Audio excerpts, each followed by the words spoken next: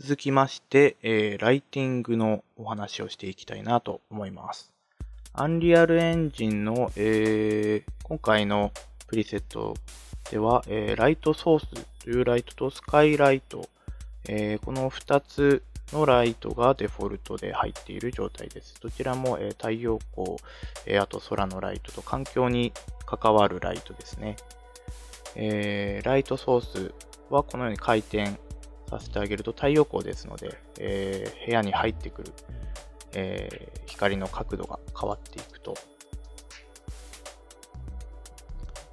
くるっと回すと反対側の窓からこのように入ってくるというような形ですね。えーで、強さはインテンシティを、えー上下させてあげれば明るくなったり暗くなったりするえーさせてあげることができます。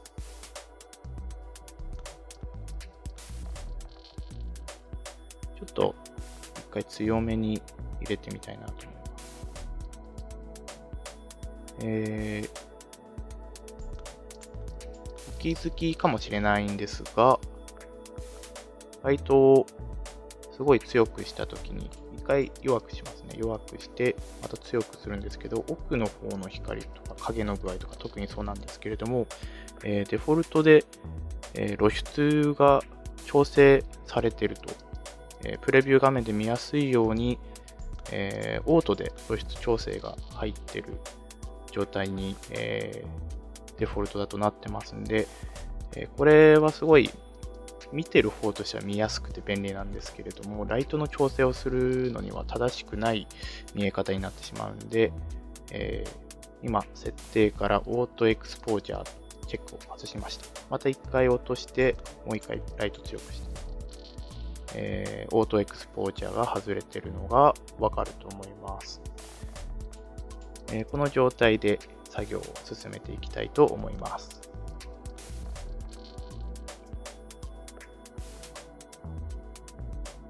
続きまして、モードの、えーライトのところからどんなライトが他に作ることができるのかお見せしますと。ポイントライトを今ドラッグして入れました。えーそのポイントから全方向にライトが照射するものですね。次はスポットライトですね。その名の通り、えー下方向にスポットで落とされると。で、最後のレクトライト。こちらは面ですね。えー今ご覧いただいている下方向にしていくんですけれども、面のライトになります。映り込みで分かりやすく見えてるかなと思います。えー今回はデフォルトで入ってるライトソース、えースカイライトを使用していきたいと思いますんで、今入れたライトは消していきます。え次にこの状態でライティングをベイクしたいんですけれども、しようかなと思うんですけれども、このビルドオプションから、まずはライティングの品質、えデフォルトだとプレビューになっているので、品質上げたいんで、プロダクションにしておきます。で、この状態で、えライティングのみビルドボタンを押すと、えビルドがスタートしますが、その前にですね、えーまたモードのところでライトマスと検索していただきまして、このライトマスインポータンスボリューム、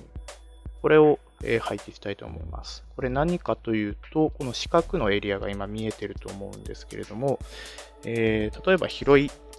え世界をベイクするときとかっていうのは、すごい時間がかかってしまうと。これを配置してあげると、その範囲は重点的にベイクしてあげると。で、見せ、あまり見えてこないところは、そこまで時間をかけないで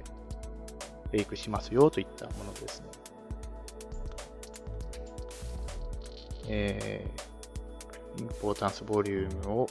部屋全体にかかるように大きさを調整して、えー、ベイクをしていきたいと思います。ビルドオプションからライティングのビルド。シーンの大きさやあのパソコンのスペックによっては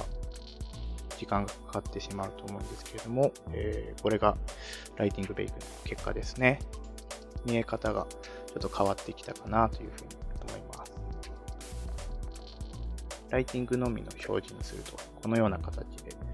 えー、見ることができます。どういうふうにライトが影響しているのか確認しやすいかなと思います。